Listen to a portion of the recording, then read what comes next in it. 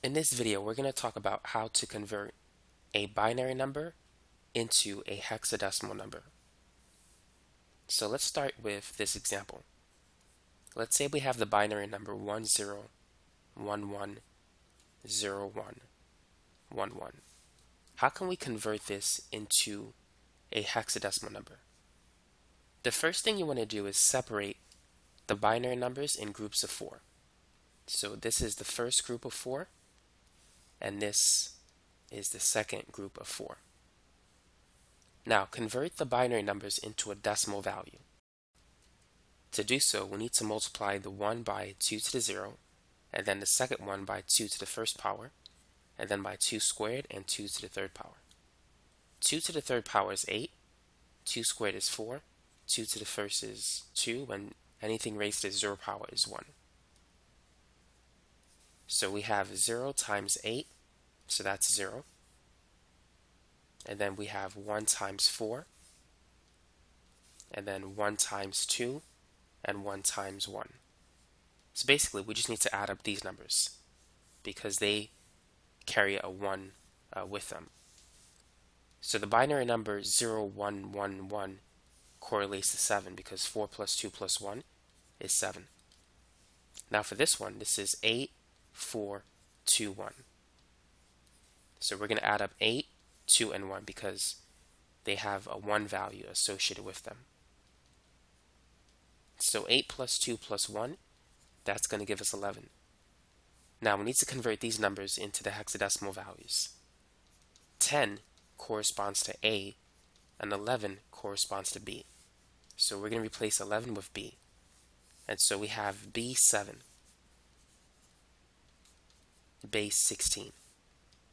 So the binary number 10110111 correlates to this in the hexadecimal system. And so that's how you can convert a binary number into a hexadecimal number.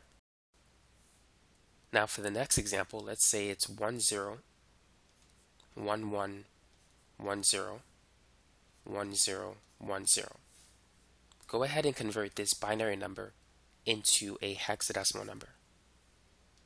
So like before, let's break it up into groups of four.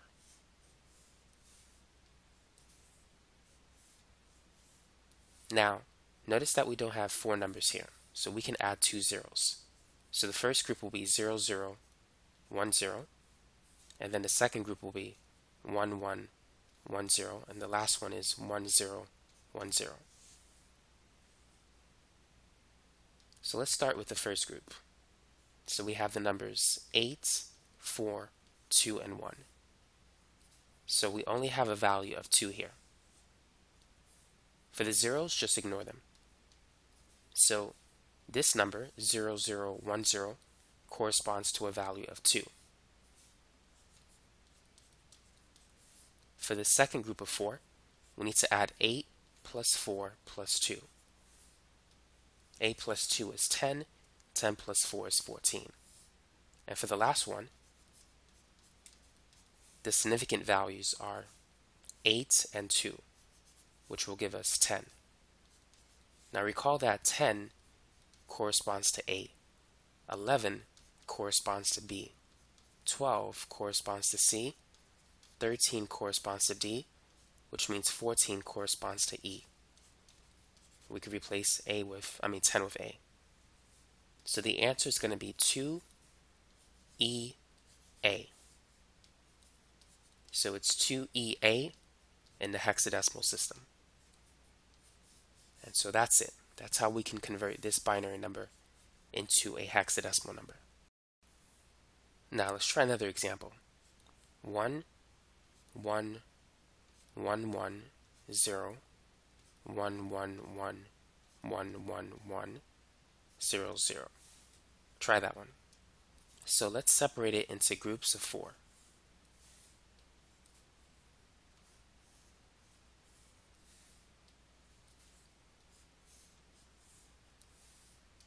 So the first group, we're going to add three zeros. So it's going to be 0, 0, 0, 1. And then the group in green is 1, 1, 1, 0 and then in blue 1 1 1 1 and in red 1100.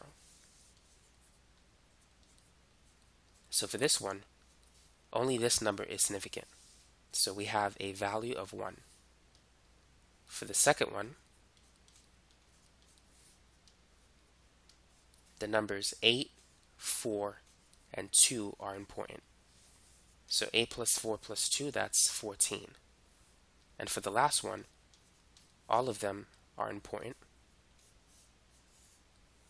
So they add up to 8 plus 4 plus 2 plus 1, that's 15.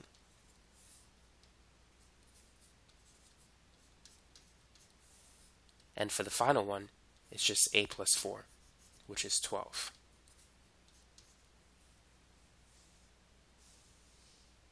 So we know 10 is A, 11 is B, 12 is C, 13 is D, 14 is E, 15 is F.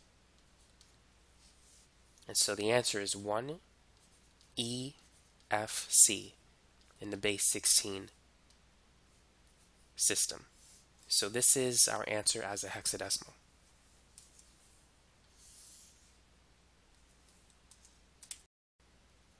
Now to make sure that we have the right answer, let's convert the binary number and the hexadecimal number into a decimal value and let's make sure that it's the same. So let's start with the binary number. So this is 2 to the 0, 2 to the first, 2 squared, 2 to the third, fourth, fifth, sixth, and so forth.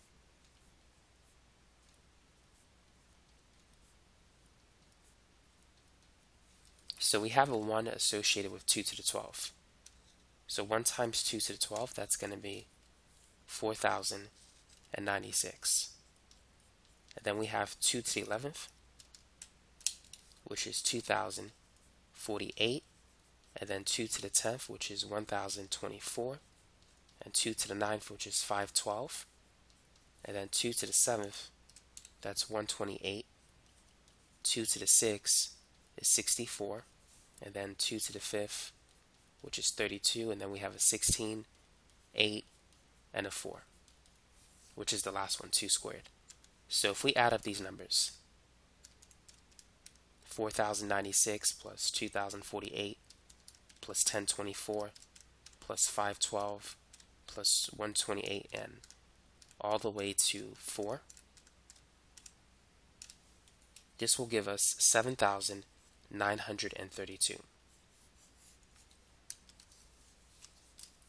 So now let's convert the hexadecimal number into a decimal number. Let's see if we get the same thing. So we have 1 EFC. So we know E corresponds to 15. And F course I mean E corresponds to 14, F corresponds to 15, and C corresponds to 12. We need to multiply c by 16 to the 0 power, f by 16 to the first, e by 16 squared, and 1 by 16 cubed. So it's 1 times 16 cubed, and we said e corresponds to 14, so it's going to be plus 14 times 16 squared, and f is 15, and then c is 12.